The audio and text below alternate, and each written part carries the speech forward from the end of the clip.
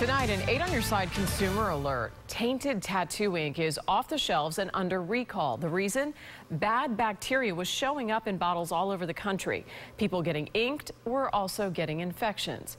Melanie Michael joins us live in Tampa, a city known for some of the most talented tattoo artists in the world, Mel. Hey, Jen, good evening to you. We have a lot of talent in this town when it comes to tattoo artists, and I spoke with one of them tonight. He says it's simple go safe or go home.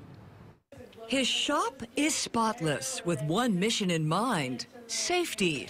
Mark Mahaffey says that's his number one concern, and as it turns out, the secret to success. Making money and doing the art is amazing, but you really, really have to be clean. When clients want to get inked, they say Mark is the man. This longtime tattoo artist runs a tight ship at Ink Spot Tattoo in Ybor. He tells us he's glad the FDA took swift action with this recent recall, saying safety checks are crucial by both the feds and local agencies. The health department can come in here at any time.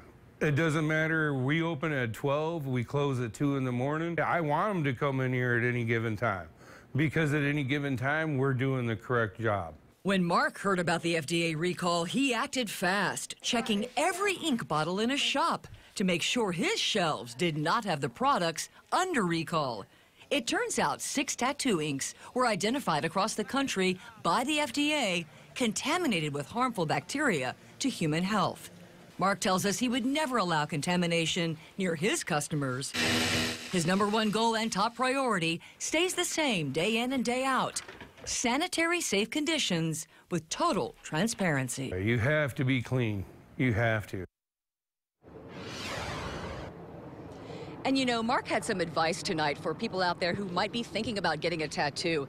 Ask questions, a lot of questions. And if that artist does not want to answer them, well, you know you're in the wrong spot. Mark, thank you so much for spending time with us tonight. If you want to read more about this Tattoo Ink recall, we have it on our website at WFLA.com. We are live tonight in Tampa. I'm Melanie Michael, News Channel 8.